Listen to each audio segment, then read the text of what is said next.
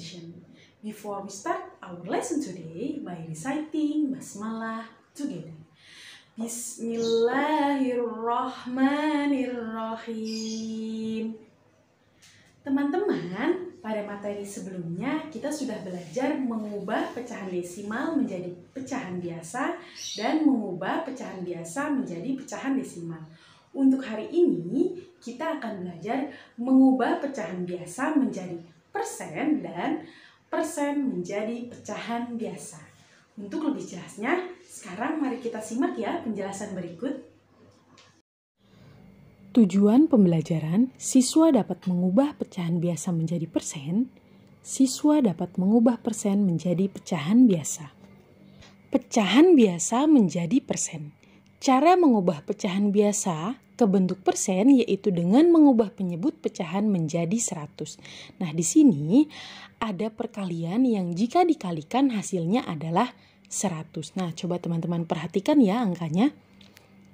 Dan tidak lupa teman-teman, lambang persen yaitu seperti ini. Sekarang untuk lebih jelasnya, kita simak ya contoh soal berikut. Tentukan bentuk persen dari pecahan berikut. Di sini ada pecahan 3 per 4, kemudian 1 per 5, dan 18 per 20. Ini kita akan ubah penyebutnya menjadi pecahan 100. Nah, karena persen itu adalah bentuk lain dari pecahan berpenyebut 100. Nah, sekarang teman-teman coba perhatikan di sini 3 per 4. Di sini penyebutnya kita akan ubah menjadi per 100. Ya, agar menjadi 100, 4 ini kita kalikan dengan berapa ya? Ya, benar. 4 dikali dengan 25. Maka, pembilang di atas juga kita akan kali dengan 25.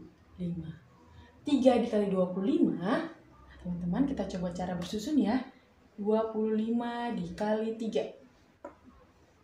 3 dikali 5, 15 tulis 5 simpan 1 3 dikali 2 sama dengan 6 ada sebenarnya 1 jadi 7 maka kita dapatkan 75 per 100 nah karena persen itu merupakan bentuk lain dari berpenyebut 100 maka eh, kita langsung tuliskan 75 nah lambang persen. Nah seperti ini ya. 75 persen. Selanjutnya 1 per 5. Ini sama, kita akan ubah menjadi berpenyebut 100. Nah, 105 kita kali berapa ya supaya jadi 100? Ya, dikali dengan 20. Maka, pembilang di atas juga kita kalikan dengan 20. 1 dikali 20 sama dengan 20. 20 per 100 sama dengan 20 persen seperti ini. Kemudian 18 per 20. Sama, kita akan ubah menjadi pecahan berpenyebut 100. 20 kita kalikan berapa ya supaya menjadi 100? Ya, 5. Nah, maka di atas juga sama, kita kalikan dengan 5. 18 dikali 5. Oke, 5 dikali 8 sama dengan 4 10. Tulis 0, simpan 4. 5 dikali 1 sama dengan 5, tambah 4 sama dengan 9. Nah, maka sama dengan 90 per 100. Nah, tadi e, bentuk lain, persen itu adalah bentuk lain dari berpenyebut 100. Nah, dilambangkan dengan seperti ini ya. Jadi kita sama 90 persen. Selanjutnya, persen menjadi pecahan biasa. Cara mengubah bentuk persen ke bentuk pecahan biasa yaitu mengubah bentuk persen menjadi pecahan berpenyebut 100, kemudian disederhanakan. Tentukan bentuk pecahan biasa paling sederhana dari bentuk persen berikut. Nah, ini teman-teman kita akan ubah menjadi bentuk pecahan biasa ada 10%, 15%, dan 25%. 10% itu sama dengan 10 per ya 10 per 100. Nah, Lalu, tidak cukup sampai di sini, tapi kita masih bisa sederhanakan, yaitu sama-sama bisa dibagi dengan berapa ya? Ya, sama-sama dibagi dengan 10. Berarti 10 kita bagi dengan 10. Penyebutnya 100 kita juga bagi dengan 10. 10 per 10, maaf, 10 dibagi 10 sama dengan 1 per 100 dibagi 10 sama dengan 10. Nah, 10% ini pecahan biasanya adalah 1 per 10 ini sudah termasuk bilangan pecahan yang sederhana karena sudah tidak bisa dibagi lagi dengan bilangan yang sama. Selanjutnya 15% sama dengan Ya, 15 per 100. Nah, ini kita sederhanakan kembali karena masih bisa dibagi lagi dengan bilangan yang sama. Bilangan berapa ya?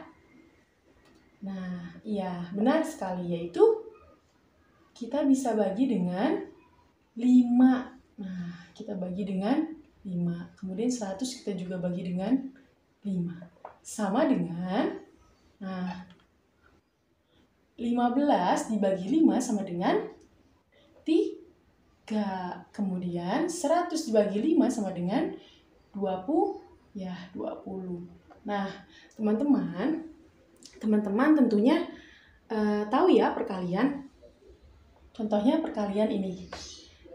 3 dikali 5 sama dengan 15.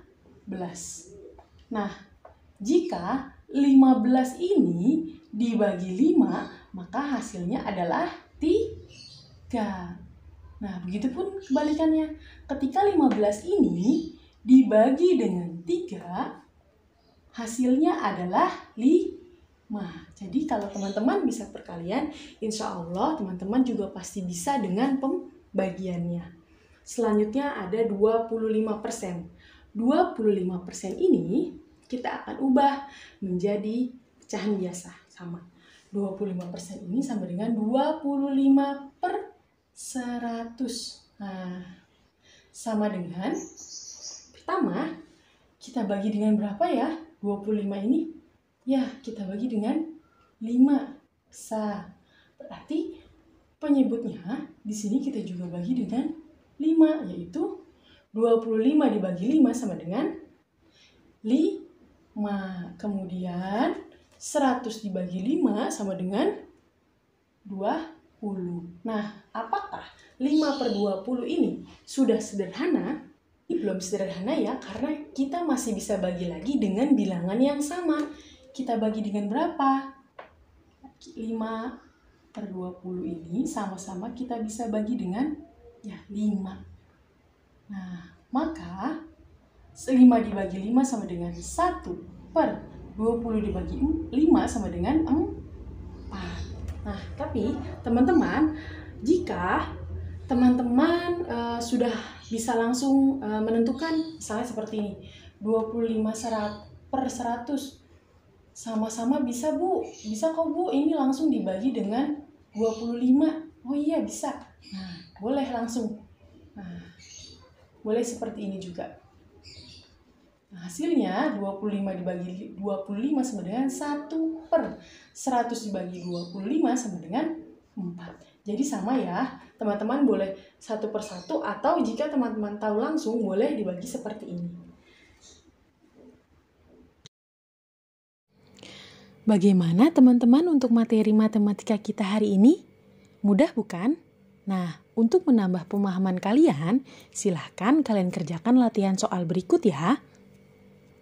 Alhamdulillah demikian tadi materi pembelajaran kita hari ini ya teman-teman. Semoga teman-teman semua dapat memahaminya dengan baik. Apabila ada yang ditanyakan atau ada yang belum dipahami, boleh ditanyakan dengan ibu guru ya. Oke, let's close our lesson today by reciting Hamdalah together. Alhamdulillahirabbil alamin. Thank you. Wassalamualaikum warahmatullahi wabarakatuh.